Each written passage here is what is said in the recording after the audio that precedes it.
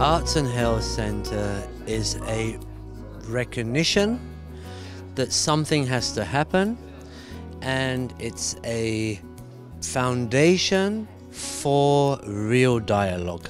The, the word prevention, everybody's like, yes, yes.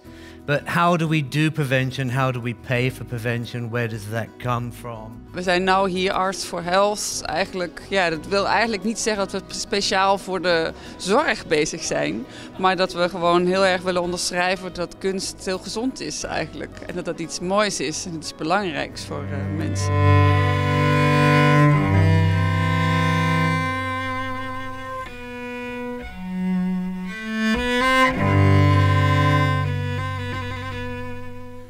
Ik heb vandaag ervaren dat uh, kunst en gezondheid op, op, op verschillende manieren eigenlijk gecombineerd kunnen worden. En dat, dat daarin de, de balans wel nog gezocht moet worden, maar dat daar wel echt een stap in gezet is. En dat we daarin met z'n allen, um, zowel gezondheid als cultuur, ook naar elkaar toe moeten komen. Onze kwetsbaarheid is wat ons mensen verbindt. Als je je mentaal of fysiek slecht voelt, ga je naar een huisarts, therapeut of specialist. Maar wat als je daarnaast, om je beter te voelen, ook terecht zou kunnen bij een muzikus, een danser? Ik kom zelf uit de zorg en ik weet dat er in de zorg heel veel schotten zijn. En ik denk dat dit een, een, hele mooi, een heel mooi begin is om de schotten tussen de zorg en de uh, cultuur weg te halen.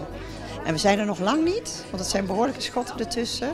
Maar ik denk dat we een beginnetje hebben gemaakt. Hands up, woman! Walking down the street, pretty woman. It's that simple.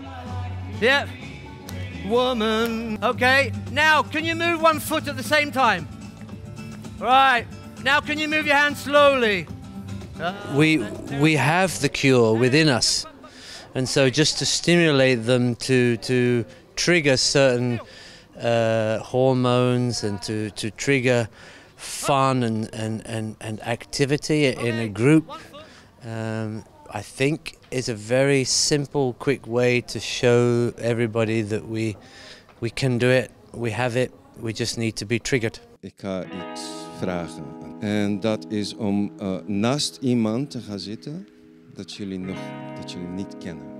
Stel dat dit de, de allereerste keer is dat je een hand aanraakt. Je hebt nooit een hand in jouw hand gehad. Ga gewoon echt voelen en ontdekken.